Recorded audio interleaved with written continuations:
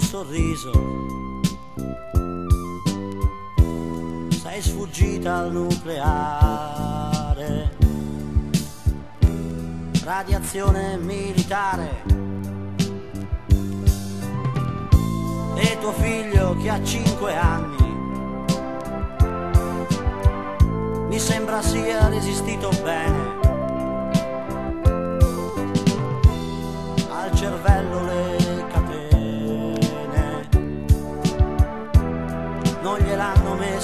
ancora. Ma tu che sei rimasto vivo anche adesso, ma tu raccontami com'è successo. Le stazioni sono ferme e le gambe non si muovono. Un microfono va avanti a gridare, ma la voce si è già persa. Ed il tuo falso progresso, legato a mintore e fanfani,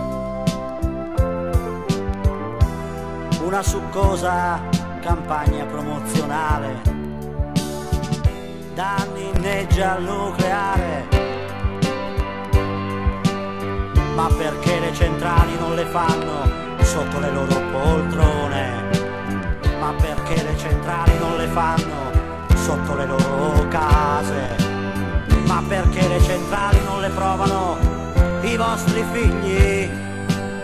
Ma perché le centrali non si rompono e noi dobbiamo morire un angolo di Siena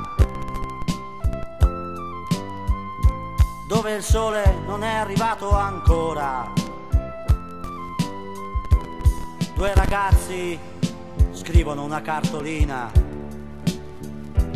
indirizzata a Montalto di Castro e Laura ci mette i saluti. Saluti e lacrime al progresso. Luca disegna una casetta e il fumo. Voleva fare l'ingegnere, ma perché la morte non è arrivata prima, ma perché gli uomini sono così suo figlio ora stanno male. Laura si spegne per la strada. E il suo uomo bestemmia al cielo. Ha una nuvola e ha il suo fumo nero.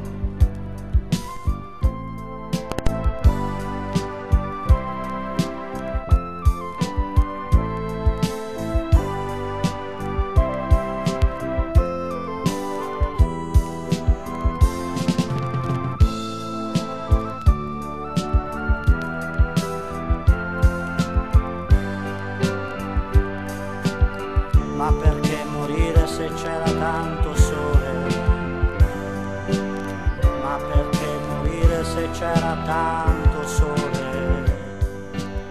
Ma perché morire se c'era tanto